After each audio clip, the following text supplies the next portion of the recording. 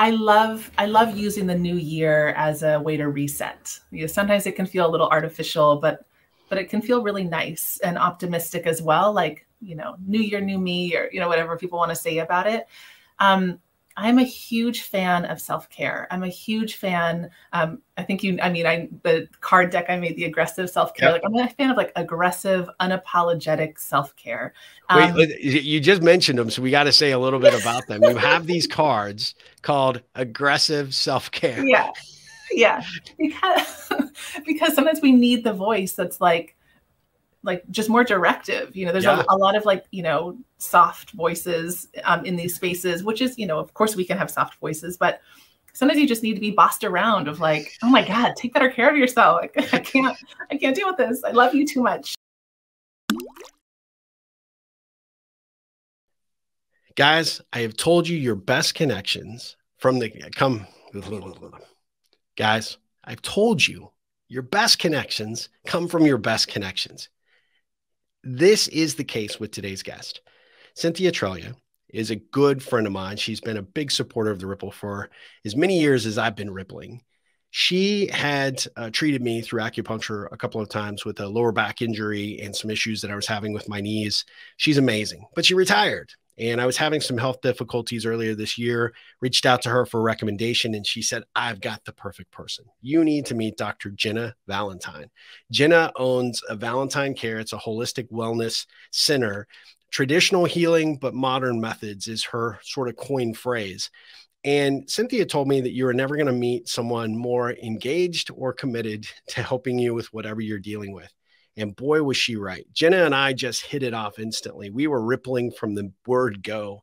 And it wasn't because she was trying to push me down a certain path of treatment. She was very, very patient and understanding, had several crazy things going on, had several different doctors looking at certain things, and wasn't getting a lot of good answers.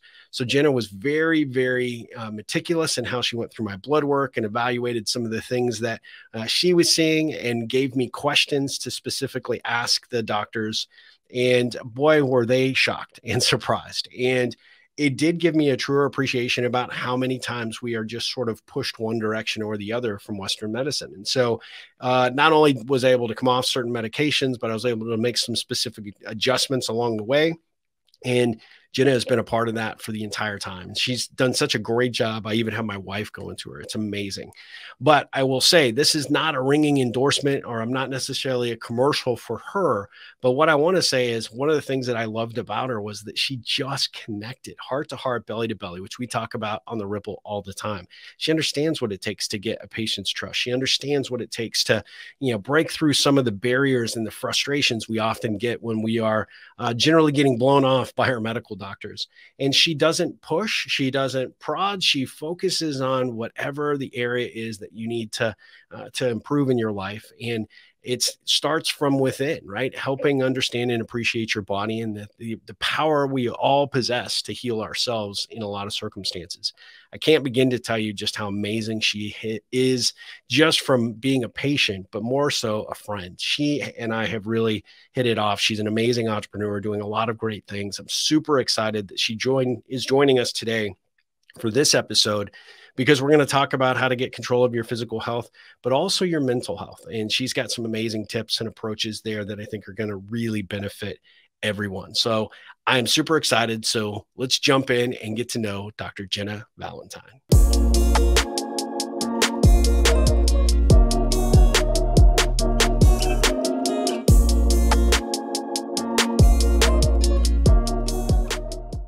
No, no, let's go.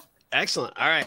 Guys, I am super excited to have Dr. Jenna Valentine joining us for the Ripple Effect podcast. Jenna, how are you doing today? I'm doing great. How are you? I'm good. I actually felt like I was probably uh, I I went into way more detail than I normally do in this intro because I was so excited to have you as a guest today, and I have a bajillion questions. But I am so grateful that uh, you agreed to do this. We've been talking about it, and we had some stop and starts on the schedule, so I appreciate your flexibility. Oh, I'm so happy to be here, and um, I I just love knowing you and I love getting the word out there and I'm I'm so happy to be making ripples alongside you right now. Well, I appreciate that. You know, we are we are definitely creating some positive ripples together, that's for sure. Well, let me let's start with you know I'm always big in the uh, sort of the origin story about who people are and how they kind of became who they are um, now, and so I'm kind of curious. Can you give our audience just a little taste of who Jenna was, kind of growing up, how you sort of settled on this as a career path, and and kind of what it's like to become an entrepreneur? Yeah, great questions. I uh, I never thought I would be putting needles in people's bodies for money. If you if you had asked me when I was young, I would have like thought you were absolutely insane. Um, I I was always the person that was going to work with at-risk youth, and I did that, and it was wonderful. So youth in the foster care system, gang members, teen moms, etc. That was really my passion growing up. But I was always interested in Chinese medicine as well, and that happened kind of as like a rebellion um, my mom's version of her religion didn't work for me. And so I was like, that's it. Like, I'm like 15. I was like, I'm doing Taoism and Buddhism, like such a bad kid. So in in that, I was like, oh, acupuncture, that sounds like absolutely crazy. I would never do that. That's horrible. Like, ew, needles, scary, blah, blah. Um, so then fast forward and I guess it took me until college to to get the bravery up to try it. And I didn't. It was amazing. It was like this local school in LA and they were offering, there'd been some tsunami or something, and they were offering free acupuncture and the money would go to a donation. And I was like a broke college student working like three different jobs. Um, and I I was like, cool, I was trying to donate anyway. This will at least I can get this experience. They're probably good people. And that was my first introduction to acupuncture. And I was blown away. But I was still like the girl who's going to work with at-risk youth. Yep. And so I just kept being that person while getting acupuncture it was how my daughter was induced um, her labor and um, it helped me with you know like i had low iron for a while and that was you know i was on medications for it pharmaceuticals and it was acupuncture that ended up helping this is kind of back in the day so yeah. then when i got divorced and i was at this crossroads and i was able to figure out who i wanted to be now knowing that working with at-risk youth didn't wasn't going to pay enough or be a lifestyle conducive to being a single mom i um i had the chance to really follow what I wanted to do, which was acupuncture. I, everyone who knew me, like they'd say anything. I'm like, you have to go to acupuncture. I was like upset. I was like knocking on doors. I was like a Jehovah's Witness, like like you know, on everyone's business about acupuncture. And I was like, wait, why don't I just be the person doing that thing that I'm telling everyone I love to do? And I haven't looked back since. It's been once my brain made that little connection. Yeah, um, I never looked back, and it's been the best. Oh, that's awesome. So, so uh, you know, you said that um, working with at-risk youth was sort of where your passion was. Have you been able to go back and visit that a little bit through some of your treatments? Because I, I know you you work with a wide variety of patients now. I do, yeah. So I, I mean, I love working with um, teens and kids. They're often not as open to acupuncture as yeah. adults are, just because like needles and as many times as you explain how tiny they are compared to a hypodermic like vaccine needle yeah. um, it's you know a kid's mind is like i'm just going to hedge on a no um, which is fair i totally get that so i haven't necessarily worked with um, the at-risk youth population in this role although i'm super open to it it's like yeah. you can't really go into a group home and be like I'm just going to put needles in the kids though. Like they're, you know, it's just kind of like it's challenging. There's um, probably laws against doing that too. Yeah, I would imagine. I yeah, some sort of policy. Pretty sure, like frowned upon. But um, what I do realize is that training left me very well equipped to work with adult bodies many yeah. of whom had hard childhoods, many of them who could have qualified as an at-risk youth when they were in their yeah. early teens, et cetera. And so um, what I saw when I was in that world working really gave me the ability to have conversations that are really hard and hold space for really deep things. And so that has informed my work, I think, more than on paper. It's like, wait, you went from working with at risk youth to being a doctor of Chinese medicine. Like it feels like a weird jump. But yeah. when I actually like pull back and think about um, both are related to helping people and um, everyone has a certain amount of trauma, whether that's small t or big T trauma. Yeah. And so I'm I feel really grateful that I was able to be in that world where there was such trauma that was so at the forefront and so thick because it really was kind of a training for the work I get to do now. Yeah. Well, you know, the the interesting thing I found when we first started working together was, you know, how how you mentioned how the body just holds on to a lot of those yeah. really painful emotions and you know those mental blocks and you know it your muscles have memory and and those go deep and being able to find an alternative to be able to remove that or or get some of those you know, some of those, you know, just that bad mojo out was super enlightening for me.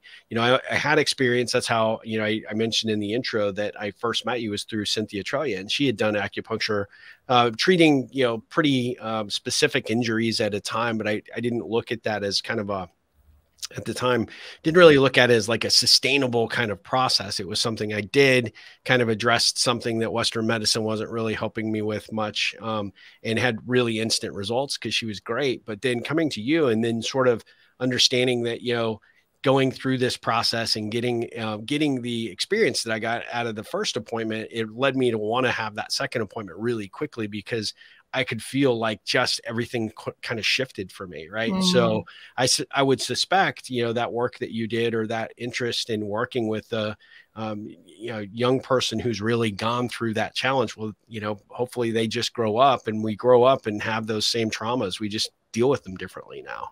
We really do, and I um, I mean, I also want to say the body also stores happiness and yeah. fortitude and you know so not all negative like, right? like wah, wah, the body's yeah. just like hanging on to rough experiences. Yeah. like we're holding on to all of it. And a lot of our experiences that are hard may have happened when we were pre-verbal um, or they're so jarring that we just don't have the words for it. So sometimes where um, I, am a big fan of talk therapy, but um, I am even more of a fan of somatic work, um, including acupuncture for moving things that don't have words or we don't have the like the cohesive sentence of what's wrong. It's like I just feel kind of like blah here. Yeah. You know, like, okay, cool. Yep. And usually it's Chinese medicine that that that actually makes sense and we can we can use specific points or herbs or techniques and actually help the body do what it knows and wants to do and support it. And we don't even need a lot of words for that, which is so yeah. wonderful. Yeah, that's awesome.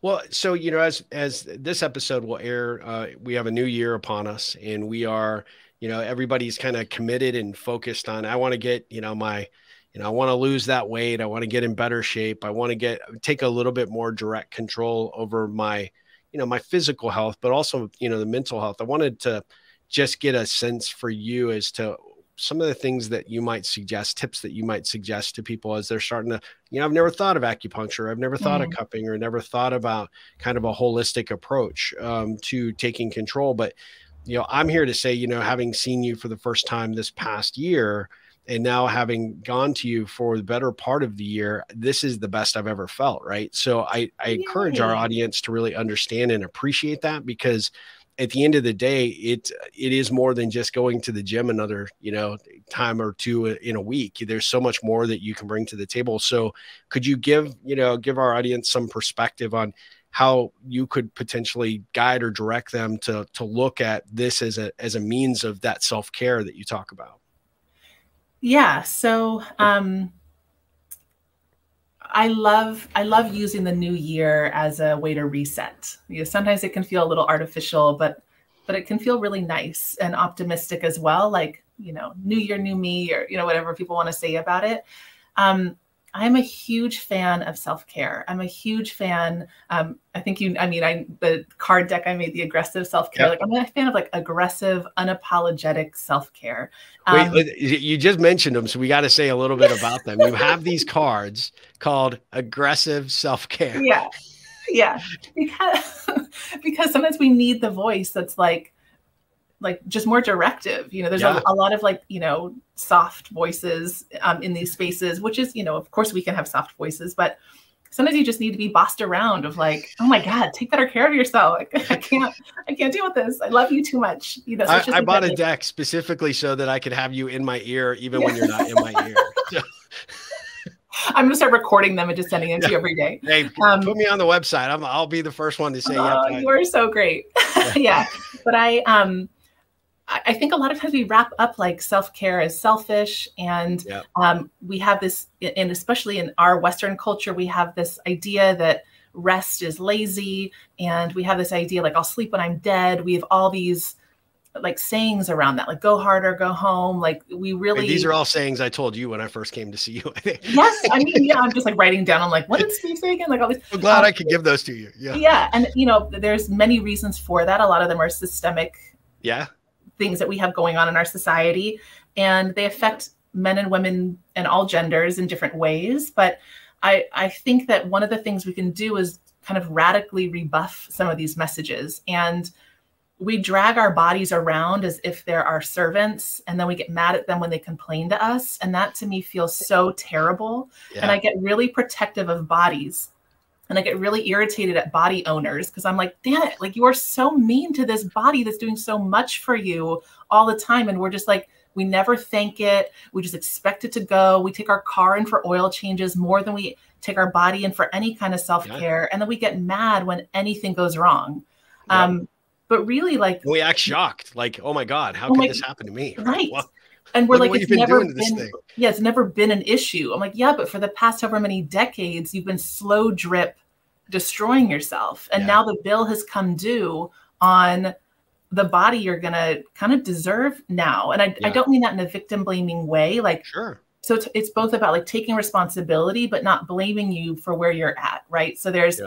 um you want to i want to both empower clients and recognize like you have an active role in this. So i mean i think you know this from when we work together. I'm very much like this is us together. This is my mm-hmm. knowledge of chinese medicine and your knowledge of your body and we're both going to come to the table with solutions here. But i would to go back to your question i would really encourage people to as a first step, start renegotiating their relationship with how they view self care. Because I wouldn't say it's a luxury, I would say it's mandatory. You know, we go on the airplane and it's you put your own oxygen mask on first, and we're like, yeah, okay, okay. And then everyone uses that metaphor, and we're like, okay. And our frontal lobe's like, okay. And the rest of us is like, but I'm not going to. Like, I'm yeah. the one who's going to totally give that mask to someone else. And like, you yeah. know, we all have these like hero complexes at some point and martyrdom complexes. So I think as a first step is just start figuring out what how you view self-care and maybe giving yourself some opportunity to renegotiate how you view self-care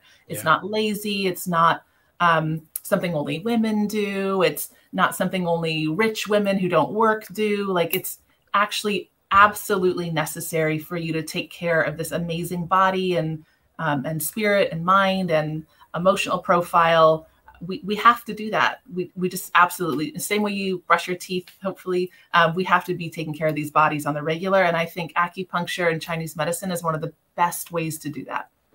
Yeah. I mean, when, when I started prioritizing, you know, sort of putting myself first and making sure that I was, you know, honoring, you know, the lessons that you teach, because you're really phenomenal at that when you're Thanks. with a patient, you're explaining what you're doing and why you're doing it. But at the same time, you're also saying, hey, here's how you can do this, you know, in absence of a treatment or, you know, when you really are in a pinch or you're high stress or whatever. And I remember those things really, uh, and I take them to heart and have really applied them. And it has lowered my stress. It's lowered a good number of things that originally brought me to you in the first place. And I remember kind of going back like mid year for my regular physician and were like, whoa, like, you know, what are you doing? And, you know, what's happening here? It's like, well, you know, you aren't doing anything for me. Uh, at the end of the day, we're, you know, you're almost all the time. It's like, you know, you go in with a complaint and they throw a, a prescription at you and, you know, you're chasing the problem as opposed to really understanding what, you know, what the genesis of the problem is, how to attack it or look at it from just you know multiple directions as opposed to just one which is usually you know putting you on some sort of pharmaceutical and it it was pretty telling. But you know, I, I mentioned in the in the introduction how you really equipped me with a, a, really patient approach to some of the issues I had going on, evaluating the the blood work, getting a better understanding of what that was. And you know, you were the only person ever to ever explain the you know the you know the the panel that I was having taken, and then giving me the right questions to ask and go back and be more informed to say, hey, look into this ask this these are the kinds of things that they should be telling you. Um, and you know it it just became a, a different process. But the thing that really stood out to me is which is i think what you're really you know your point is you've got to take that control because nobody else is going to take it for you. Your doctor's yeah. not sitting at home tonight going gosh I, I wonder if steve's doing okay. I mean you know he hasn't seen me in three months or you know how's that prescription i you know i wrote for him uh, treating them. They, they don't care. I mean, it, I mean, they do, but at the end of the day, they're not invested in as invested in that process as you need to be as, as an individual.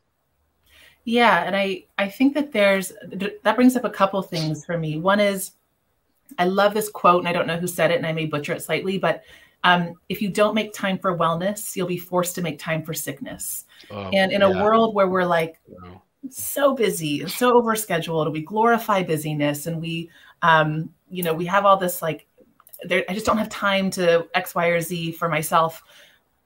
Then you get sick, and you're out for what five days, ten days. Like you definitely okay. didn't have time for that. So I would say that it's actually the time you carve out for wellness, um, making healthier choices around foods or breath work or meditation or um, getting your blood labs run all of that is actually a really strategic like um, kind of savings account for your time and for your freedom and if you think about like if you retire and you're like oh now i'm going to travel when i retire but you're not yeah. well you know yeah. what are you going to do you're not you're not really free then and for me health and wellness is one of my pillars of freedom so sure yep. finances is one of them but health and wellness and then mindset is my my kind of other one there but um, if your body isn't healthy and your emotional profile doesn't have a certain kind of sense of equanimity then you're not going to be free. And so for me self-care is essential there. And there's there's so many different things that can be driving that. I know we had talked you know about going into anxiety yeah. as part of this. Um, and anxiety can, you know, just to use this as an example, can come from nutrient deficiencies. It can come from food sensitivities. It can come from drinking too much coffee. It can come from drinking alcohol. It can come from eating spicy foods. It can come from um, poor gut health, which is where 90 plus um, of your neurotransmitters are developing. It can, you know, there's, it can be a pharmaceutical side effect. Like there's so many areas that can be happening. And so, what you hopefully will have as a practitioner that you feel has your back, yeah. not like I, I will tell clients a lot, like, I can't out acupuncture a terrible marriage. I can't do it. There yeah. not a needle point for like my partner treats me like crap. Um, because sometimes people can be toxins yeah. and sometimes and I can't I can't out acupuncture that toxin or if we know that you're allergic to I don't know um strawberries, whatever. I don't want to always pick on gluten and dairy, even though a lot of people do have sensitivities there. But, yeah. um, and you keep eating them, then we're gonna have to talk a little bit about expectation setting. You know, so like I'll meet you wherever you're at. Yeah. Um, I know certain practitioners are like, I'll fire them if they're not compliant, and I'm like, well, I I'm not there. I'll meet you wherever you're at. I'm like, don't yeah. tell everyone you're seeing me. Maybe you feel like you're making that. oh, tell them you're not doing what I told you to do at home or something. Yeah. But um, but I think, you know, for people to really start shifting this, we have a kind of a narrow focus on what it, we want one answer. We're trained to want there should be a pill for every ill or whatever the yeah, saying is yeah. around that. Um, and we just, bodies don't work that way. We are so complex and we, our whole system is complex just in our own body. And then the way we interact with other people is complex. And the culture we live in and the weather we're in and the cycle of the moon, this like infradian cycle that we never really talk about. There's so many different elements here. And um, and I hope that people will have a practitioner that's that's well versed in, in, kind of all of those yeah. so that we can be looking at that. Like what do your labs show? It could just be low hanging fruit of like you have way too many red blood cells. Of course yep. you have joint pain, you know, or yeah. not have enough red blood cells. Like you may need more iron or digestive enzymes or you know whatever it might look like um, those are kind of more low hanging fruit things. And then there's stuff about mindset like what are what is the tone of voice in your head? Are you yeah. mean to yourself all the time? Um, are you shaming yourself constantly? Do you have this like nagging nitpicking voice? Like if you're anxious and you're drinking you know 10 cups of coffee and you're mean to yourself all day every day like yeah, there's a few things that we're going to need to address from multiple angles there. And I'm a big fan of like, take out the low hanging fruit stuff first to see what's left, then address that. You know, like yeah. there's a really like nice way to do it. But I think one of the ways that I think you can really, you personally really inspire people is that you're, you listen and you implement and you do like you do the thing. You're like, oh, that's a good idea. I'm going to do that thing. Yeah. and um, and that's really inspiring to be like, you know, you're you're a special person, but also a regular guy who was still able to make changes that bettered your life. It's yeah. not rocket science. You know, I think I was um I was at this biohacking conference doing a I was doing I was on one of the panels and um, all these people are wearing all the wearables and doing all the tricks and the cold plunge and the, all the like the sexy new things that are out there. Yeah. And I was just like, I think we all need to chill out. Like I yeah. think we all just need to calm down. and you know, so sometimes my advice is not sexy at all. It's like breathe more and yeah. better and drink more water and sleep more. You know, yep. like be in nature. Like it's like the real basics, just like really, really basic. And and it's not a pill. It's going to be a, a shift in the way that you're living. Yeah, and you know, I, lo- I love the fact that you touched on that. Like, um, you know, the particular question that got posed by one of um, our um, audience members about anxiety and and sort of the challenge there, and and you know, I, I don't want to make any uh, suppositions on their behalf, but I've seen other people that have had it. I I had anxiety really bad as a as a kid, and I just remember everybody, you know, sort of you, you, there was just the stigmatism around it, right? Because people are, um, you know, when any, anything, especially in today's world, you know, although I think we're a little more sensitive to it than we might have been even five years ago. Uh, but the reality is there's this, you know, sort of, uh, uh, you know, shame around the concept and the and the topic of mental health and and you know getting stressed out and having these anxiety attacks and you know people telling you there's no physical there's nothing physically wrong with you it's all mm-hmm. in here and you know that you know one of the, the largest engine is in here and of course that's the biggest challenge for a lot of a lot of people if you're not taking care of that and if you're not you know with someone who's along your side with you on that journey to help address those things like you said the low hanging fruit first then starting to look at it the other other potential factors that could be creating uh, the challenges for you uh, you know you you end up defaulting a lot of times to either um, dealing with it in probably in unhealthy ways you know drugs alcohol um, you know isolation and loneliness etc or you go and, and you have a doctor that says i got one pill to fix it all right? And, and put you on some sort of uh, antidepressant which has a whole different set of you know challenges with it. So you know when you when you have someone that's actually stepping up to the plate to say i, I want to I want to address this for myself. What do you what do you recommend as maybe a first step to getting engaged in a conversation with someone like you? Uh, you know, what do they do to kind of get past that shame and, and fear?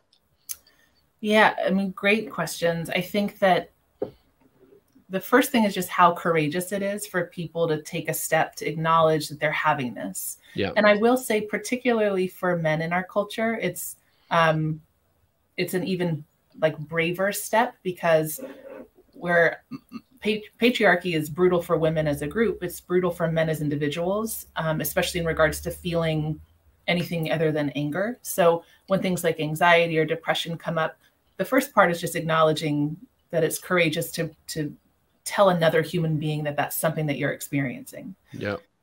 I view as my role to create a space of non non judgment. Um, so it's kind of my my obligation to try to create a space that people feel comfortable being as honest as possible. Like there's no TMI.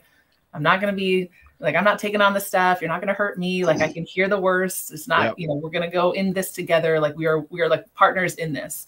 Um so yeah, I think the first thing is just the the courageousness of that. The second thing is often again that low hanging fruit. Like if it's if it's depression or anxiety, like are, are there are you getting the nutrients in your body? Like are yeah. you getting um, both food nutrients, water? Is it a side effect of a medication you've just started? Um, are you moving your body? Are you getting out in nature? Like there, you know, there's some stuff like right away. These are things that can shift and change. Um, there's a quote. It's like an ancient Chinese saying that if you're depressed, you're living in the past. If you're anxious, you're living in the future. And if you're at peace, you're living in the moment. Oh, I love that. Way easier said than done, of course. there is something really like resonant about that. And so of course when people are like, I'm anxious, I'm not just like, well, you're living in the future. Stop doing that. Like that's of course not the advice, but there is something about encouraging people to build a tolerance for dis for discomfort. So um and, and I'm I'm not talking about people who are like actively engaging with suicidal thoughts. Like right, this, right. that is another area that we're talking yep. about here. So so in the kind of realm of like um, normal, I'm going to use like big air quotes on that, yeah. uh, of anxiety, depression, mental health. I think sometimes we we're not used to feeling any kind of discomfort, and so we think any kind of discomfort is bad.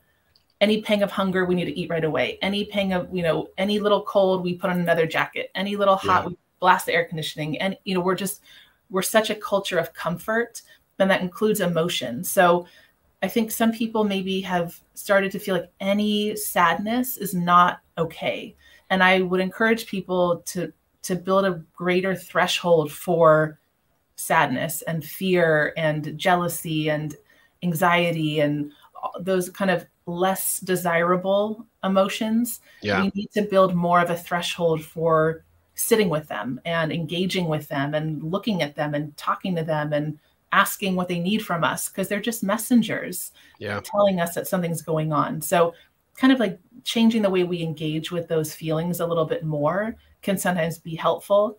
Um, and then it's often a, like are we living in line with who we want to be? If there's a big disconnect then there's going to be a negative emotion that comes that's showing us there's a disconnect. If you're working at a job you hate and you're with a partner that you despise and you know you're never working out and you don't like the way your body looks and you're eating crappy food all the time and you have a rough relationship with your family and you know whatever like if that's the life you're living and you've no hobbies and you just kind of watch reality tv show all day every day if there's anxiety and depression coming up it's it's something that you can look at and hopefully find the motivation and the support to make some changes um, so so that those messengers don't need to keep coming at you louder and louder and louder to encourage you to make some changes. So that's we kind of start there. I also usually when people come in for anxiety depression et cetera we're, we're past the point of um, of doing a preventative practice. Mm-hmm. and preventative practices like breath work and meditation and starting those in a state of calm. I'm always like, you don't train for the Olympics the day before the Olympics. You know what I mean? Like, you don't learn how to swim when you're in the water, like in the ocean over a boat. Like, we want to be practicing these skills so that if I have a good breathwork practice, a good meditation practice, then I can go back into that as a source of support yeah. when I'm feeling dysregulated if I'm feeling dysregulated, I'm like, you know what, I'm going to try to meditate. Guess what? You're going to hate meditation. You're like, that was terrible. I just sat there and like wanted to claw my brains out for whatever, three minutes. So yeah. I would encourage you, um, even if you're feeling great right now, still please try to get some of these practices that are going to help you so much when the inevitable hardships come in life because they, you know, they, they always do and they will, and that's part of it. And that's okay. Yeah, you know what I what I hear you really saying is that there's there's a lot of value in asking yourself those questions. Really, you know, having that inner dialogue with yourself to really get clear about what's going on and how certain circumstances are unfolding and then find someone like yourself that can actually help you navigate those those waters because there's no shame in doing that. There's in fact it's always a really good uh, idea to have someone that is looking at you from more of a holistic perspective, trying to figure out potentially some of the challenges because we do fall into a trap of, especially in our healthcare, you know, to, uh, you know, just defaulting to whatever the latest trend might be. Yeah. And we don't uh, we don't ask the you know the the harder questions of ourselves or our, our health practitioners to really see what's going on. We just sort of take it and just say this is the life i'm kind of you know being dealt and it doesn't have to be that way. I remember before i came to you you know i had serious bouts of insomnia um, stress level was through the roof and even though i felt like i was doing a better job because i meditate every day i feel like i'm i'm pretty well centered you are finding things that were like, yeah, you can still do a little better here, and you can do a little tweaking there, and and just those um, those inputs really helped me. You know, it helped me get on my game mentally. It helped me overcome my normal. Um, I've got you know sort of a crazy cycle of you know uh, ebb and flow in terms of a you know slight depression and you were able to sort of navigate through those things with no judgment and and really help me sort of look at things through a different lens that allowed me to try and help myself in those situations which was really great i also think that I mean, you have an ability to be introspective in a way that's really cool. And even some of the questions you pose to like the Ripple membership, right? Some of these like really thoughtful like let's take some time to actually think about like who we want to be and be intentional about those choices and decisions. So i think that's going to serve i mean you so well and everyone who comes into contact with you because the questions you ask are so powerful. And what i wish that everyone had the benefit of is to to have a witness with them while they're going through those questions. You know to be safely witnessed by someone when you're going through a hard time and to kind of walk in somewhere with like your like pocket of shame stuff and be like, this is my shame stuff. And to have someone be like, okay, yeah, I see your shame stuff. Yeah, like, let's look at it and unpack it together and, you know, no judgment. Let's just like, and then usually people are like, and then I also have this shame thing, you know, like, okay, yeah. Like, let me go outside. I've got a big box yeah, yeah, of it in my trunk, right? Like movers, come on in. We got the shame. but usually like when the body starts feeling comfortable that we're looking at those things, we're not just stuffing them away anymore. There's this, oh, it's so beautiful. There's this Mayan shaman, Martin Prechtel, and he talks about in his culture, unshed tears are what they believe tumors are, are like consolidated unshed oh. tears.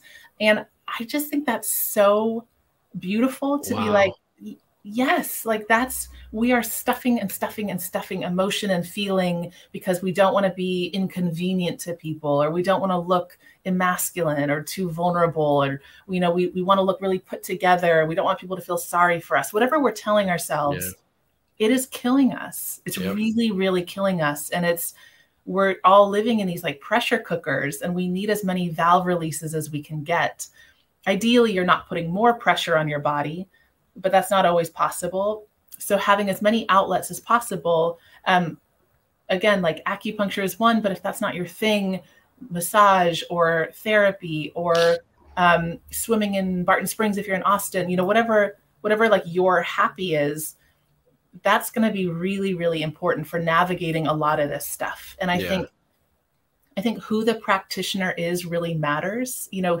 feeling like there's a, a group called Heart Math M A T H, and they have done these really cool studies around we co regulate each other. And so, like, our heart and brain waves will start to sync up when we're in contact.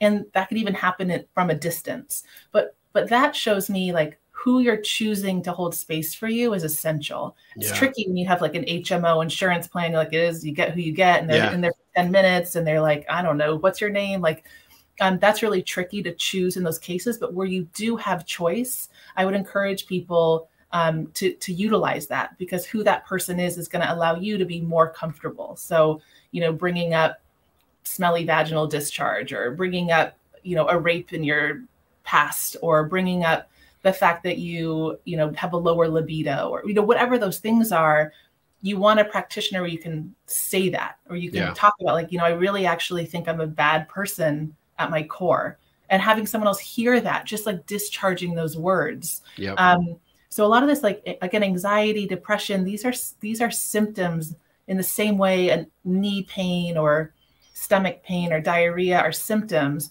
They're just emotional symptoms of a larger deeper issue that we want to work together to figure out the why so that people don't have to live like that. Like you're always with yourself.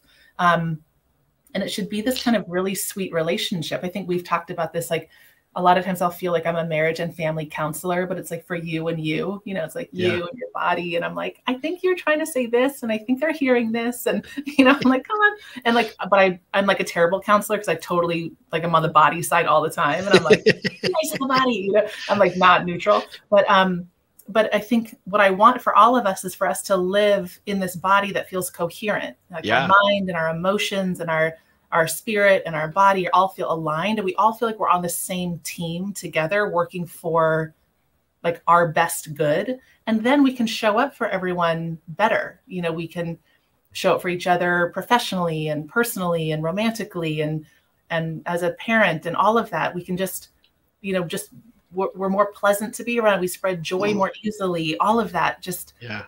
It, it's I mean maybe it's like my my inner Pollyanna coming out, but I kind of love that part of me of like we can do better and all of us can feel good and like you can too, I promise. Yeah. Well, I mean, you you definitely have made a huge difference in my life, and I know in my wife's life as well. Just in in how you've looked and in just the patient, heart centered approach that you take to it. I mean, the fact that you have a, a heart in your logo is ideal because I mean, it's it's it's perfect. Let me switch gears for a second. You know, I mean, I love all of this, and I could definitely talk to you. We'll definitely have to do a follow up episode to this because I think it's gonna uh, it's it, we're going to get a good response on this for sure. We're going to get a lot of questions. But um, what's the best thing about you know? Let me ask you some Ripple specific questions. Okay. You, you, you, talked about those. What what's the best thing about being an entrepreneur from your perspective? Oh, I forgot to answer the entrepreneur part of your question. No, no, no, that's fine. Yeah. Back. Um, I mean, you answered it. I mean, you you were answering it in a, in a, a very very good way. But you know, more specifically as the business owner, because you you're out and doing this on your own. I mean, this yeah. is a and, and and very successful. Thank you. I um, man, I love I love what I do so much. It's like silly. Like I um, I just love like people are like, how are you? I'm like, I'm great. Like I get to come to the office and see all these people that are so cool or new people and they're doing work and it's I get to be part of it and like I leave blissed out and um and entrepreneur wise like I just never get bored. I'm never bored because there's always something. There's like oh I fucked up that like oh I, yeah okay um like there's always something I like messed up or some new thing I could learn or interesting people that I've met. Um, I think I'm a really good boss and yeah. a really good employee. So I'm like, wow, well done. Like I'm always like, I should give myself like a best boss and best employee award. Um, so I really love like getting to work with myself, if that makes sense. And yeah. there's so many challenges that are um, just like really fascinating. So I get both like left and right brain activation all the time. I also like, for better or worse, just get to do whatever I want. so like, like the like this morning I saw this. I like love chips and salsa. It's like kind of embarrassing. Um, it's like I'm I'm not recommending that, but I just love it. And yep. there was this meme that was like, chips and salsa should be everywhere. Like you go to the bank and there's chips and salsa. You go to whatever, like, and you know that. And I was like, damn. And so I sent it to a friend, and they were like, you should have that at your office. And I was like, yeah, no, I'm not going to, but I could. That's the like for me, like the, the best part of being an entrepreneur is like if I wanted a chip and salsa bar in my office, I could have one. And it just you could. I love that. Like I can wear whatever I want. Like I set the uniform. And every now and then I'll get weird with myself. Like I'll be like, you should professional this way. And then I'm like, oh, I should. And I like try to fit into that. And I'm like, why did I do that? Like that such so I get to like watch myself run through all the stereotypes of what I think I'm supposed to be as, you know, the owner of this company and, you know, the face of whatever and a doctor of Chinese medicine. I'm like, oh, I, I should, the shoulds creep in. And then I'm like, no. And I just get to do like whatever. And it feels so fun. And so, but again, I am also, um, just one person. So like you, Steve was so great. You know, we had that this coach the coaching call the other day, and I was like, I have 10 million ideas. and so I think because um, no one's here to be like, Jenna, stop. You're just one person. Um, I think that's maybe one of like the the uh, my challenges is to be like, you just just chase a couple things at a time because I get really fired up and excited so easily. Yeah, when we had that call, I mean, you've got great ideas, you know, and but you know, you you you probably do need a reminder from time to time. You're just one person, so. Uh, but that's the beautiful thing about entrepreneurship. You get to work on what it, what you want when you want it, and and yeah. deliver it the way that you want to deliver it, which is great. So I love right, it. And I have no one telling me you can only spend X amount of time with someone, and I have no one telling me like you can't cuss in your treatment sessions. And i have no one telling me you can't use this you know herbal topical because it smells what you know whatever. Like yeah. i like i there's this moxibustion is a chinese technique. It's a modality for treatment. And i was using it and a client was like oh my god i thought you were that was weed when i was in the office. And i was like oh my god like you thought i was just like smoking weed in my office? Like about to treat and so like it was, and I'm like, and you came back like this, like you came back, like how? so um, but my my favorite part is like I still get to use things that smell low key. They're not weed. It's not weed. It's not. Yeah. There's no marijuana in here. Um, but I I get to use things that smell that way, and then it's just funny. And uh, no boss is going to be like, I told you not to use a thing that smells like weed. You know, and I'm yeah. like, like it just anyway. Don't make me write you up again. I know. I know. I should start writing myself up. Like, yeah. but anyway, I I just really really being an entrepreneur feels really cool. Like I'm not a fan of ego death. I'm a fan of like ego integration. I don't yeah. know if that's what it's called. That's what I'm calling it. Where I'm like, I feel I get to feel like a bad. I'm like, yeah, I started this company and I have this office and like people come see me and I get to help them and like I did that and I get this little like, oh look at me, like I it feels so good. Yeah. And um, it feels so neat to be able to take it wherever I want. That just feels so nice and um and it's not lonely because I get to collaborate with cool people like you and you know other people in the in the Ripple community and other people in the broader community and with like online coaching work I can you know I was talking to someone in California earlier and Utah and so it Love just it. makes me feel really really free which is is such a core value for me. Well, I think that's great. I mean, I think you're an inspiration to anyone that's thinking about becoming an entrepreneur. They could learn a lot from you. What's the best thing a client or, you know, patient, I, I should say, patient or colleague or uh, a good friend could say about you? Hmm. Oh, that's a sweet question. um,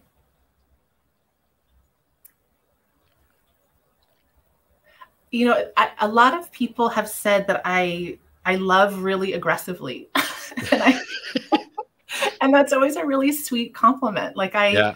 I'm just a. Uh, I think a client once said, I love the client that said I was like a wellness dominatrix. So that kind of caught on and I laughed about that. Um, and someone said that I was just their ferocious advocate. And I remember being like, that feels really good to hear.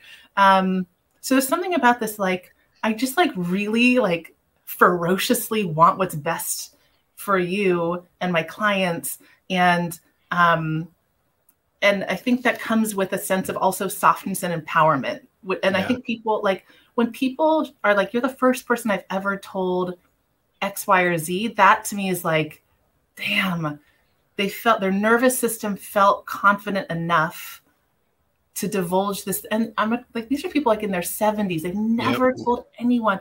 And i'm like that to me feels like one of the most beautiful things ever. So um some of the compliment is even more like uh it's like a feeling like you can they're you can watch a nervous system settle and relax. That's probably the biggest compliment but it's yeah. not through words. Like it's nothing anyone will say to you. It's just like you just see it happen. And that's like more beautiful than any like sunrise or sunset. I'm just like, oh, I love that. nervous system relaxing is just gorgeous. That's I love that. That's fantastic. What do you think your superpower is? Hmm. Probably being able to like rationalize anything, like which is like also a super curse.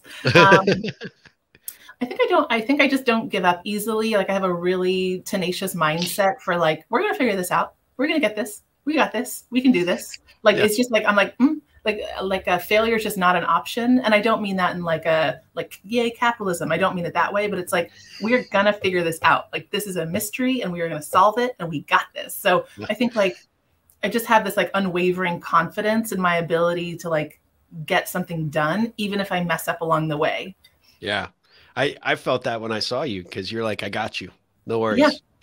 I mean, yeah. That was just that level of confidence and the you know that that strength that just says hey i've landed at the right place which you know is is phenomenal. I i remember actually introducing you to uh, liz hanlon you know and i i said you spend five minutes with jenna and you're going to be like hooked. And she's like i don't know. I'm from chicago. I'm really i'm tough to impress. And she calls me like literally like you know the you, know, you guys met for drinks or something. And she was like oh my god how did it take you that long to introduce us right so your your reputation precedes you. So oh, I mean, your superpower so and your uh, you know people are talking about you, which is really good. Aww. What do you think the most important thing is in life? You're hitting me with the big questions. I um, I'm like um, the most. I need to cue the uh, the uh, the you know the Jeopardy music or something. I know. Um, I reserve the right to change my mind. Um, but what's coming to me right now is it's going to sound so cliche and cheesy, but what's coming to me is loving yourself, like yeah. really unapologetically loving yourself wherever you're at. Doesn't mean you don't decide to do better, but you just love yourself where you are. Um, because no one's ever hated themselves into loving themselves more, and no one's ever hated themselves into being a better person, right? So um, I remember I got I once get a tattoo. Um, I was married at the time. This is like I don't know 10 years ago, probably. Um, and I wanted to get a tattoo that said good enough. And um, my ex didn't like tattoos. So I, I, even though I have them, but anyway, I got a necklace that said good. I had it made, it said good enough. And, um, and he was like, I hope that doesn't apply to me. And my best friend was there and he goes, uh, mine's better than nothing, you know, because my ex was like, mine's never enough. And my best friend's like, mine's better than nothing. And I'm like, ah, good enough feels right. Like we want a sense that like we're good enough as we are that's the most important thing. Again, it doesn't mean you don't strive to be better and and whatnot, but this just kind of like confidence in who I am is like divine and wonderful exactly now. Yeah. Um, that's what I want for everybody. I love that. That's fantastic. So, what would you like the next five years to look like for your business and for your life? I um hmm, a lot of chips and salsa. I should have started there. Aside from the chips and salsa, and Yeah. you know, just an endless supply of that just being mainlined could just bring office. me chips and salsa. Yeah. Um, no, please don't. I'm like trying to stop. But um, I I would have to say, business wise, I love empowering people and I love people learning. I love because these these are this is not rocket science. This is like so applicable. Um, and I love when like I find out other people were sharing this advice with other people. Like, yes, I want that. So I do see more public speaking um, coming my way, Yep. uh, just because I just love that, and I love the one-on-one. But I um, I can't one-on-one as many people as I can public speak uh, more people. Um, that's not this, a real English sentence, but we're gonna make it work. Totally um, got it though. We understand. You. Yeah. So um, yeah, I think I think that will kind of happen. Um, I hope the the aggressive self care cards only continue to go. Like that Yep. product stuff just feels like so fun to me. Um, and then I just I really like where I'm at with my business. Like Yeah. I I I love my office. I would love to stay here. Um, you know, I see myself just meeting more and more really cool, interesting clients who are focusing on self care. I, I really like, I mean, you've heard me say this. I have the, the best clients in the world. Like, I, I am so lucky. They're just, the, I look at my calendar every day and I either don't know people and I'm excited or I'm like excited to see the people I know. Yeah. Um, so I just, I kind of see that staying like where I, I just, I love, I love the flow that I have right now. Um, I would love to do figure a way to travel, like do acupuncture at like retreats or something. But Yeah. the logistics around licensure, I'm not sure about. But I'm like, man, get me to like, you know, Colombia on some like yoga retreat as your acupuncturist, like all day, every day. Um, but again, I'd have to figure that out. So I don't know if that will happen in five years, but I think like the public speaking and um, and some of these more like kind of product things feel pretty exciting. Yeah, based on the list we went through, uh, I think you're gonna definitely have a busy five years for sure. So, like Let me ask you- what's that? with tons of self care. With tons of self care, Yeah. yeah. and and probably chips and salsa. Let's just be yes, the two are the same. Potato, yeah, potato. yeah, exactly. That's right. So let me ask you this question: So, what, in your opinion, does the ripple effect mean to you? Hmm.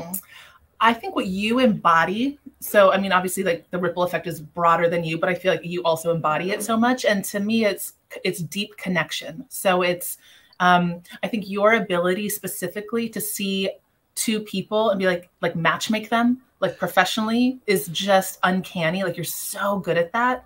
And I I think that's what it means is this really the sense of like we are all interrelated. Everything we do impacts each other. And let's do that intentionally. Let's impact each other intentionally with with the the purpose to Im- impact each other positively with intention. That's what it, I think. That's what I would have to say about it. Uh, I love, I love that. I love that. Well, so I would like to finish with one question. So, what kind of ripple can I create for you in the upcoming year? Your questions are so sweet. like all of them are like, I want to know your answer too. Um, I let's see. I mean, I think what you're doing, like you have been so lovely connecting me with people that you feel um, I would learn from or who might learn from me. And all of those connections have been so wonderful. Um, I think just keep being you on it. Just like this is so cheesy, but just like knowing you exist is like makes my world better. So I'm like, oh, he's just out there doing great stuff. Uh, thank you. I, Yeah. I need that on my brochure. Just being me. yeah, just, oh, I love that. No, thank you very much. I mean, I it goes without saying. I mean, you've brought so much to my life, and I am so grateful that not only I found you from a health perspective, but also just us having this really great friendship that has really blossomed. I'm I'm really honored by it, and it's easy to want to help good people doing good things in the world and you're creating a, an unbelievable amount of ripples out there and more to come i mean so i'm so grateful to you know to to be uh, spinning in your orbit Ah, thank you. It feels really good. This is I I honestly like what I get to do every day feels like magic. Um that's and awesome. getting to see people feel better and and just like, you know, kind of be on their team, like like being in their wellness corner with them Yep. just it's really truly an honor for me to do and and witness and see and um I can't. I, I'm so glad that I I am in this world and in your world, and and hopefully getting to meet more and more people who are interested in health and wellness. Yeah. Well, I work with a lot of entrepreneurs, and you see some people that are destined to do what they are doing, and other people that are just doing it to do it. Mm. You are destined for what the work that you are. It's perfectly aligned, and it comes out in everything you do. So, uh, just keep up the good work. How does everybody? Um, how would you like people to learn about you? From you know, whether it's your website or social. What's the best way? You've got this you know great following on YouTube with your your colleagues. So I mean, yeah, share it all. So so yeah, I guess like probably I'm most active. I would say on Instagram. Um, my my business name Valentine Care was taken, so it's Valentine Care Wellness is on Instagram. Um, and I kind of like I have no social media. I am the social media person, and it's mostly stuff that I find funny. so um, hopefully you do too. Yeah, it's um, hilarious. It's really, and you have a future as a, a, comedian if you decide that you're going to hang up the. Oh my gosh, no! I just, I just like laughter is medicine, also. Um, yeah, but sure. I, it's mostly literally like my social media campaign is like, that's funny, repost with like a funny emoji that also makes me laugh, um, yeah. and also hopefully helpful too. Like you know, I try to keep them helpful. And so that's, and then people can message me on there if they want. My website is just valentinecare.com. Um, you can see like videos and, you know, stuff on there, scroll through, read as much as you want if you're more of like that format. Um, I also do free 15 minute consultation calls. So if people want to reach out to me, they're welcome to, and we can see if it's a good fit that way. Because yep. again, who your practitioner is matters, especially if they are going to potentially put needles in your body. You know, you want to make sure like like they're at least kind of cool. Um, so my email is um, um, Valentine Care Wellness at Gmail, or you can do info at Valentine Care. so anyway, but probably Instagram is going to be the best way to like direct okay. message me. The website has a way you can do a contact me button, um, and I'm sure they can go through you as well if they want like yep. to text my my business cell phone or something. Yeah, we'll, we'll put all your links up in the video, and obviously we'll uh, include it in the show notes for those people that are just catching this on the audio. But Jenna, thank you so much for being a part of the the show today. Um, it it was an absolute pleasure to have this opportunity to uh, dig a little bit deeper and and hear you know your motivation and your inspiration and sort of what you're what you're doing in the world. It's so important and so critical, and so grateful that uh, you know we get an opportunity to to share this with a, a wider audience because I, I think people, that, especially people that are in Austin, you got to go check out what Jen is doing. I think you'll be really, really amazed uh, to spend a little bit of time with her and you'll be hooked. I promise. So, Aww, you know, as you. always, I, I, you know, we'll be back with another episode of the Ripple Effect podcast very soon. But until then, Jenna, ripple on. Thank you guys. Happy holidays.